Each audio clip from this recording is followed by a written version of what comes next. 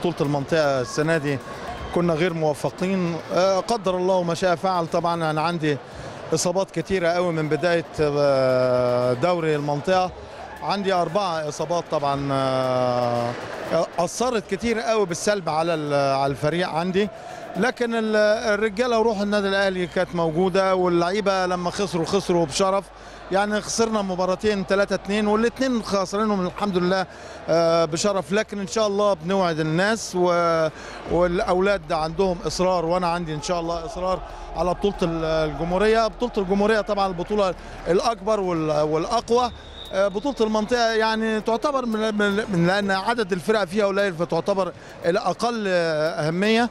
فالمهم عندنا إن شاء الله بطولة الجمهورية نكون استعدينا واستردينا كل اللعيبة إن شاء الله اللي اتصابت وإن شاء الله نعوضها إن شاء الله ربنا يكرم يوسف لعيب center block عندي عن جاله كسر وعندي زياد أسامة جاله مزق في البطن قعد فيه أكتر من 25 يوم. وعندي آه، ناصر محمد ناصر إصابة في العضلة الضامه ودي طبعا برضو قعدته أكتر من 10 أو 12 يوم في في الملعب.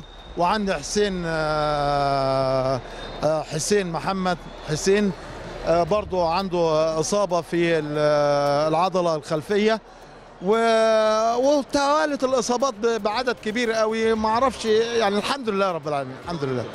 إن شاء الله راجعين إن شاء الله على خلال الأسبوع دوت إن شاء الله يفك الجبس آه، النني اللي هو يوسف إن شاء الله يفك الجبس ويرجع لينا. والإصابات إن شاء الله الدكتور بلغني ان إن شاء الله هيرجعوا في خلال الأسبوع ده إن شاء الله. الكلام اتقال واللعيبة أدت برجولة.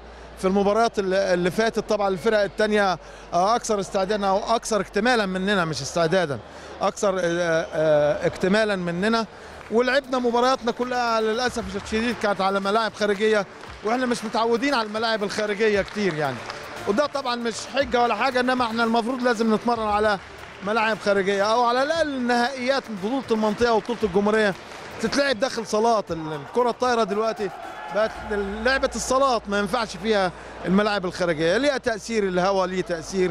الملاعب ليها تأثير في في الأداء وبيخلي المستوى يقل. لكن الحمد لله رب العالمين ربنا يكرم إن شاء الله.